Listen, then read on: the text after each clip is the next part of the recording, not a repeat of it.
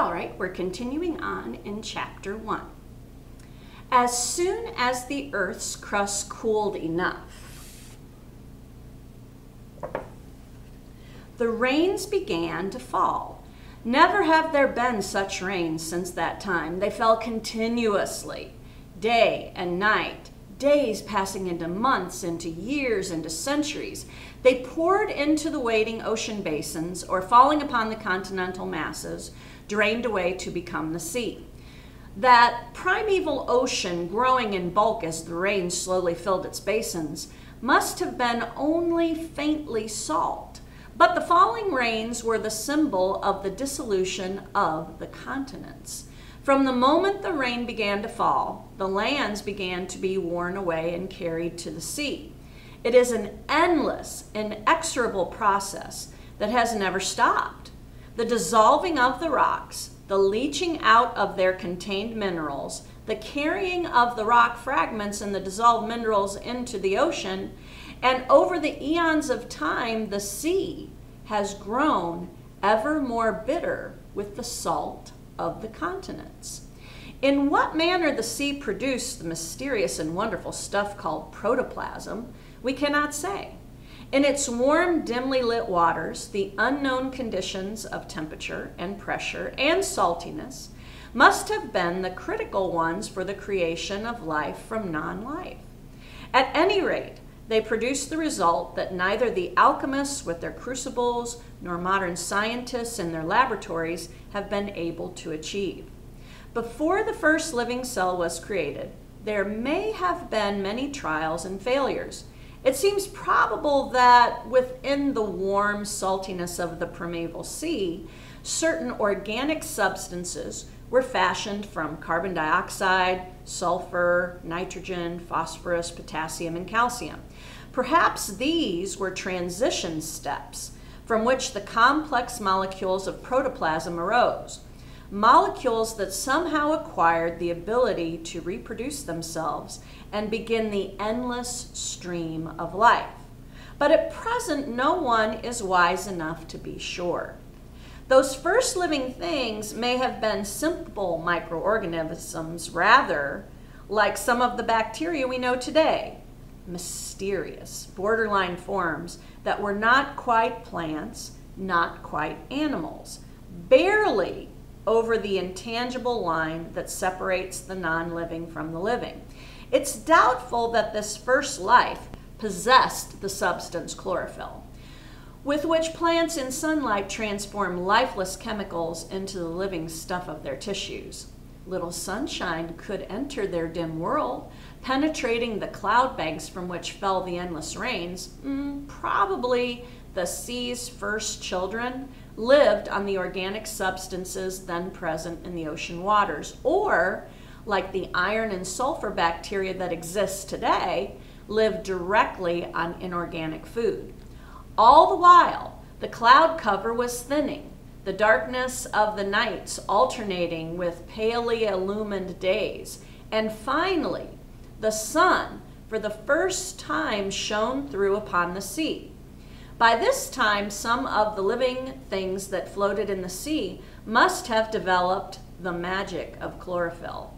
Now they were able to take the carbon dioxide of the air and the water of the sea and of these elements in sunlight build the organic substances they needed. So the first true plants came into being. Another group of organisms lacking the chlorophyll but needing organic food found they could make a way of life for themselves by devouring the plants. So the first animals arose. And from that day to this, every animal in the world has followed the habit it learned in the ancient seas and depends directly or through complex food chains on the plants for food and life. As the years passed and the centuries and the millions of years, the stream of life grew more and more complex from simple one-celled creatures, others that were aggregations of specialized cells arose. And then creatures with organs for feeding, digesting, breathing, reproducing. Sponges grew on the rocky bottom of the sea's edge, and coral animals built their habitations in warm, clear waters. Jellyfish swam and drifted in the sea. Worms evolved, and starfish, and hard shelled creatures with many jointed legs. The arthropods, the plants too, progressed from the microscopic algae to branched and curious, curiously fruiting seaweeds that swayed with the tides and were plucked from the coastal rocks by the surf and cast adrift. During all this time, the continents had no life. There was little to induce living things to come ashore. Forsaking their all providing, all embracing Mother Sea, the lands must have been bleak and hostile, beyond the power of words to describe. Imagine a whole continent of naked rock, across which no covering mantle of green had been drawn, a continent without soil, and there were no land plants to aid in its formation and bind it to the rock with their roots. Imagine a land of stone, a silent land, except for the sound of the rains and the winds that swept across it. For there was no living voice, no living thing over the surface of the rocks. Meanwhile, the gradual cooling of the planet, which had first given the Earth its hard granite crust, was progressing into deeper layers. And as the interior slowly cooled and contracted, it drew away from the outer shell. This shell, accommodating itself to the shrinking sphere within it, fell into folds and wrinkles and the Earth's first mountain ranges. Geologists tell us that there must have been at least two periods of mountain building, often called revolutions, in that dim period, so long ago that the rocks have no record of it, so long ago that the mountains themselves have long since been worn away. Then there came a third great period of upheaval, upheaval and readjustment of the Earth's crust, about a billion years ago. But all of its majestic mountains, the only reminders today are the Laurentian Hills of eastern Canada and a great shield of granite over the flat country around Hudson Bay.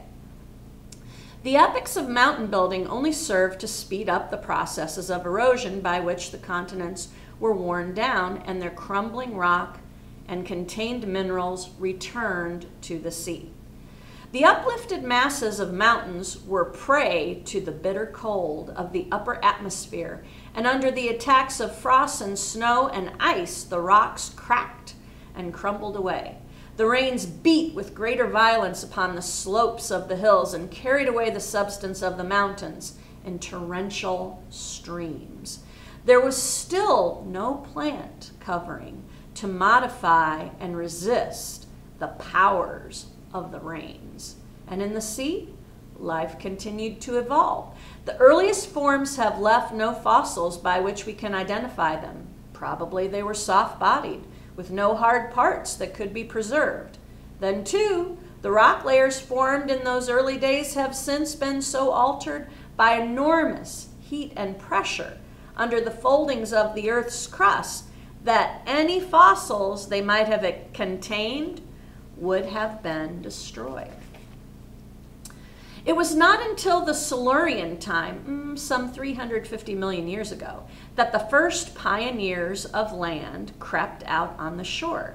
It was an arthropod, one of the great tribe that later produced crabs and lobsters and insects. It must have been something like a modern scorpion, but unlike some of its descendants, it never wholly suffered the ties that united it to the sea. It lived a strange life, half terrestrial, half aquatic, something like that of the ghost crabs that speed along the beaches even today, now and then dashing into the surf to moisten their gills. Fish, tapered of body and stream molded by the press of running waters, were evolved in Silurian rivers. In times of drought, in the drying pools and lagoons, the shortage of oxygen forced them to develop swim bladders for the storage of air. One form that possessed an air breathing lung was able to survive the dry periods by burying itself in mud, leaving a passage to the surface through which it breathed. It is very doubtful that the animals alone would have succeeded in colonizing the land, for only the plants had the power to bring about the first amelioration of its harsh conditions. They helped make soil of the crumbling rocks. They held back the soil from the rains that would have swept it away, and little by little they softened and subdued the bare rock, the lifeless desert. We know very little about the first land plants, but they must have been closely related to some of the larger seaweeds that had learned to live in the coastal shallows, developing strengthened stems and grasping root-like holdfasts to resist the drag and the pull of the waves. The mountains that had been thrown up by the Laurentian Revolution gradually wore away, and as the sediments were washed from their summits and deposited on the lowlands, great areas of the continents sank under the land. The seas crept out of their basins and spread over the lands. Life fared well, as was exceedingly abundant in those shallow, sunlit seas. But with the later retreat of the ocean water into the deeper basins, many creatures must have been left stranded in shallow landlocked bays. Some of these animals found means to survive on land. The lakes, the shores of the rivers, and the coastal swamps of those days were the testing grounds in which plants and animals either became adapted to new conditions or perished. As the lands rose and the seas receded, a strange fish like creature emerged on the land. And over the thousands of years, its fins became legs, and instead of gills, it developed lungs. In the Devonian sandstone, this first amphibian left its footprint. On land and sea, the stream of life poured on. New forms evolved, some old ones declined and disappeared. On land, the mosses and the ferns and the seed plants developed. The reptiles, for a time, dominated the earth. Gigantic, grotesque, and terrifying. Birds learned to live and move in the ocean of air. The first small mammals lurked inconspicuously in hidden crannies of the earth, as though in fear of the reptiles. When they went ashore, the animals that took up a land life carried with them a part of the sea in their bodies, a heritage which they passed on to their children and which even today links each land animal with its origin in the ancient sea. Fish, amphibian and reptile, warm blooded bird and mammal, each of us carries in our veins a salty stream in which the elements sodium, potassium, calcium are combined in almost the same proportions as in seawater. This is our inheritance from the day untold millions of years ago when a remote ancestor, having progressed from the one-celled to the many-celled stage, first developed a circulatory system in which the fluid was merely the water of the sea. In the same way, our lime hardened skeletons are heritage from the calcium rich of Cambrian time. Even the protoplasm that streams within each cell of our bodies has the chemical structure impressed upon all living matter when the first simple creatures were brought forth in the ancient sea. And as life itself began in the sea, so each of us begins his individual life in a miniature ocean within his mother's womb. And in the stages of his embryonic development, repeats the steps by which his race evolved from gill breathing inhabitants of a water world to creatures able to live on the land. Among the land mammals, there was a race of creatures that took to an arboreal existence. Their hands underwent remarkable development, becoming skilled in manipulating and examining objects, and along with this skill became a superior brain power that compensated for what these comparatively small mammals lacked in strength. At last, perhaps, somewhere in the vast interior of Asia, they descended from the trees and became again terrestrial. The past million years have seen their transformations into beings with body and the brain and the spirit of man. Eventually, man too found his way back to the sea. Standing on its shores, he must have looked out upon it with wonder and curiosity, compounded with an unconscious recognition of his lineage.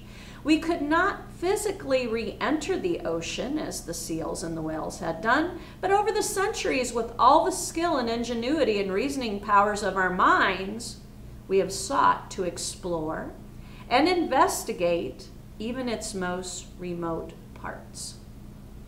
We built boats to venture out onto its surface. Later, man found ways to descend to the shallow parts of its floor, carrying with him the air as a land mammal long accustomed to aquatic life, he needed to breathe. Moving in fascination over the deep sea he could not enter. He found ways to probe its depths. He let down nets to capture its life. He invented mechanical eyes and ears that could recreate his senses, a world long lost, but a world that, in the deepest part of his subconscious mind, he had never wholly forgotten. The sense of all these things come to man most clearly in the course of a long ocean voyage when he watches day after day the receding rim of the horizon, ridged and furrowed by waves, then at night he becomes aware of the earth's rotation as the stars pass overhead, or when alone in this world of water and sky, he feels the loneliness of his earth in space. And then, as never on land, he knows the truth that his world is a water world a planet dominated by its covering mantle of ocean, in which the continents are but transient intrusions of land above the surface of the all encircling sea.